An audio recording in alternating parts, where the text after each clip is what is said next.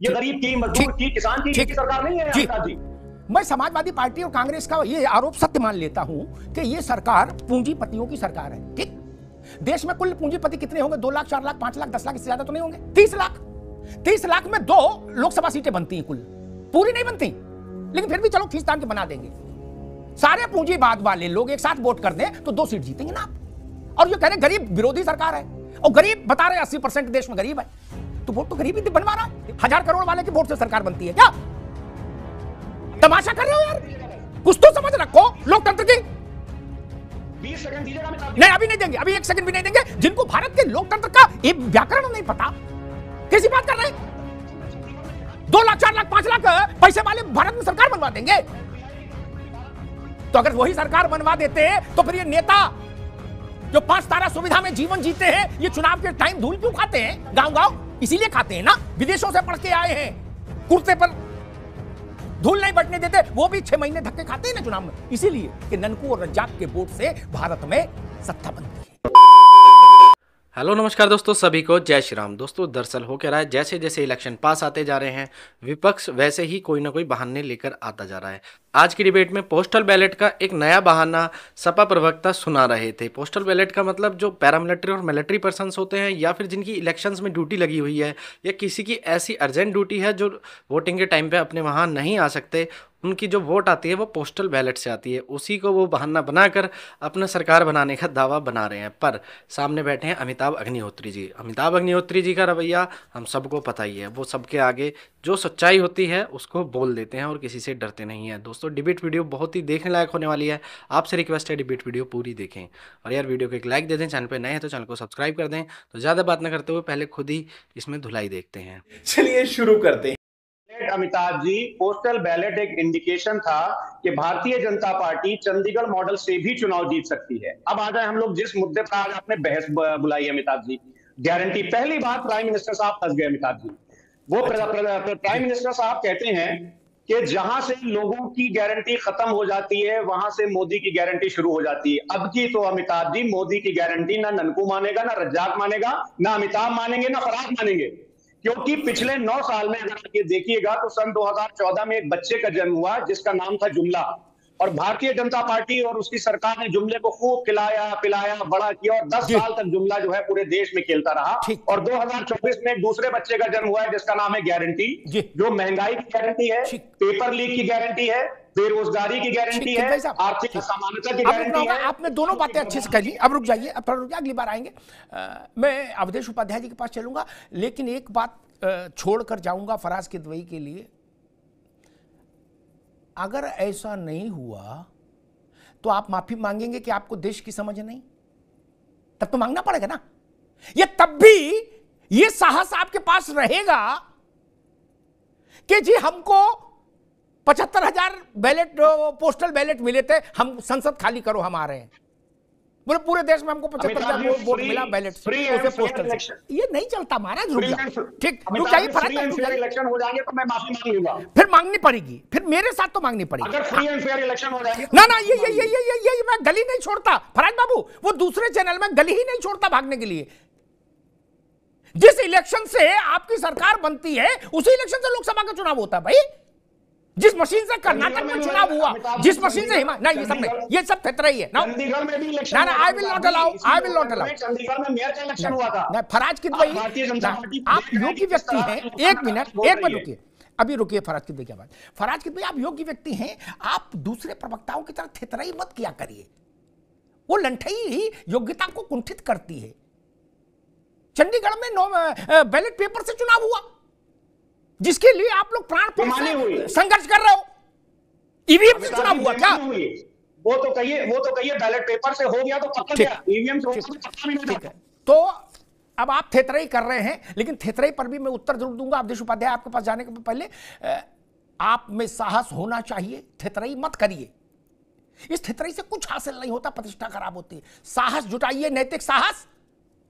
और खड़े होकर कहिए कि ये चुनाव प्रक्रिया हमको मंजूर नहीं हम तब तक चुनाव नहीं लड़ेंगे जब तक प्रक्रिया नहीं बदल जाती। आप में साहस है? नहीं है साहस। चाहती है। अरे आप में साहस नहीं है। आप में नहीं कर सकते हो साहस नहीं मैं। के साथ नहीं खड़ा हो सकता। मैं साहस के साथ खड़ा हो सकता हूँ। ठीक ठीक है। भारतीय जनता पार्टी यही चाहती है ठीक ठीक ठीक। ठीक। अरे भाई आप चौदह में पाँच सांसद जीते उन्नीस में पाँच सांसद जीते। आप झंडा किस बात पे फैला कोई रहे हो? बात नहीं 2012 में हमने सरकार भी बनाई। अरे मैं क्या कह रहा हूँ? आप क्या जवाब दे रहे हो यार? मैं कुछ जो कह रहा हूँ वो तो सुना करो। मैंने कहा 2014 में आप पाँच लोकसभा में जीते 19 में पाँच लोकसभा जीते। आप झंडा किस बात का फहरा रहे हो? किस बात का झंडा फहरा रहे हैं भाई? 80 में पाँच जीतना कोई बहुत बड़ी प्रतिष्ठा है क्या? और दावा कर रहे पूरा प्रदेश मेरे पीछे खड़ा है। अस्सी में पाँच ही जीते हो ना? पैंतीस परसेंट लोग खड़े हैं हमारे पीछे ये नहीं अस्सी में पाँच जीते कि आप नहीं। हमको ऐसे अंडरमाइन नहीं कर सकते। अरे मैंने कर दिया। शक्ति का तो मतलब ही नहीं। खैर 35% vote share Awadhesh Upadhyay. Undermine नहीं कर सकते।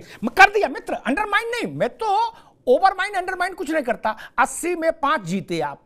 इस ये सत्य है सत्य बदल नहीं सकता। दो बार वोट हुआ लोकसभा के दो अवसरों पर आपको पाँच ही सीट मिली। ये सत्य नहीं है क्या? मैं मैं सोच, इस बात को लेके परेशान वो हूँ, थोड़ा हतप्रभ हूँ कि मुझे आपकी बात में समाजवादी पार्टी के भविष्य का एजेंडा दिख रहा है। कि भविष्य में सब तर्क किनारे करो, केवल ये कह दो भाई पोस्टल बैलेट में हम जीत गए। अब सरकार ये जो बनी है, नकली है। असली सरकार हमारी थी, जो हमको नहीं बनाने दी गई, हम, हमसे सरकार छीन ली गई, चूँकि पोस्टल बैलेट में हम जीत गए। मुझे लग रहा है अगली बार सपा यही आर्गूमेंट लेके आएगी क्या? अमिताभ जी, अ, अभी आपने थोड़ी देर पहले जब अमिताभ तिवारी जी से कहा कि समाजवादी पार्टी ने पोस्टल बैलेट से इलेक्शन कराने की मांग की ऐसा बिल्कुल नहीं है। मैं ये बोल रहा था और नहीं की नहीं रहा मैंने कहा कर सकती है। भविष्य में। अपनी जी बात पे हाँ थोड़ा सा अनइंटरप्टेड दीजिएगा अमिताभ जी जी जी तो जी। आएगा। जी। जी जी मैं अपनी बात पे कायम हूँ कि समाजवादी पार्टी पोस्टल बैलेट से इलेक्शन जीती थी। समाजवादी पार्टी और मेरी भी ये अ, मांग है कि सरकार जो है वो फ्री एंड फेयर इलेक्शन कराए। वोटर लिस्ट में समाजवादी पार्टी और विपक्ष के नाम ना कटें और उन पॉकेट्स में पुलिस जाकर के लाठीचार्ज ना करे दबाव ना बनाए जहाँ पर समाजवादी पार्टी और विपक्ष के वोट हैं। ये गरीब की मजदूर की किसान की ठीक। सरकार नहीं है जी।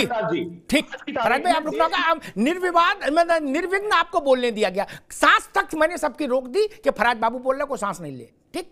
सुन ले अब एक टिप्पणी करके मैं अवधेश जी के पास मैं फिर इतना पढ़ा लिखा तो नहीं, जितना फराज भाई है। कौन कौन से अंग्रेज़ी में सर्वे उनने बताए? मैं तो गाँव का आदमी हूँ। मैं एक बात कहता हूँ, इससे बड़ी कसौटी नहीं हो सकती। मा थेतराई में ना मानो आप की जय। लेकिन दिल में सब मानोगे। तिवारी जी आ रहा हूँ अवधेश जी एक बार तिवारी जी से इस पे हामी भरवा लूँ। तिवारी जी मैं समाजवादी पार्टी और कांग्रेस का ये आरोप सत्य मान लेता हूँ कि ये सरकार पूंजीपतियों की सरकार है ठीक? देश में कुल पूंजीपति कितने होंगे? दो लाख चार लाख पाँच लाख दस लाख इससे ज़्यादा तो नहीं होंगे? तिवारी जी हाँ ना बोलो भैया। पंद्रह लाख कंपनियाँ हैं। पंद्रह बीस पचास पाँच लाख और जोड़ दिए ताकि संकट बाद में ना हो। कि नहीं नहीं हमारा आंकड़ा पूरा नहीं सुना। तीस लाख। तीस लाख में दो लोकसभा सीटें बनती हैं कुल। तिवारी जी पूरी नहीं बनती? लेकिन फिर भी चलो खींचतान के बना देंगे। सारे पूंजीवाद वाले लोग एक साथ वोट कर दें तो दो सीट जीतेंगे ना आप। और ये कह रहे गरीब विरोधी सरकार है। और गरीब बता रहे अस्सी परसेंट देश में गरीब है। तो वोट तो गरीब ही बनवा रहा है। तिवारी जी हाँ ना बोल दो, फिर मैं आगे जाऊँ। ये थेतरा ही नहीं। बिना- गरीब के वोट के कोई सरकार कैसे जीत सकती है अगर गरीबों की संख्या सबसे ज़्यादा है? यही चाह रहा था कि एक निष्पक्ष आदमी कम से कम हामी भरे। मेरी बात में ये सरकार किसान बनाते हैं गरीब बनाते हैं मजदूर बनाता है। हज़ार करोड़ वाले के वोट से सरकार बनती है क्या? तमाशा कर रहे हो यार। कुछ तो समझ रखो लोकतंत्र की। बीस सेकंड दीजिएगा नहीं अभी नहीं देंगे अभी एक सेकंड भी नहीं देंगे। जिनको भारत के लोकतंत्र का व्याकरण नहीं पता। कैसी बात कर रहे हैं?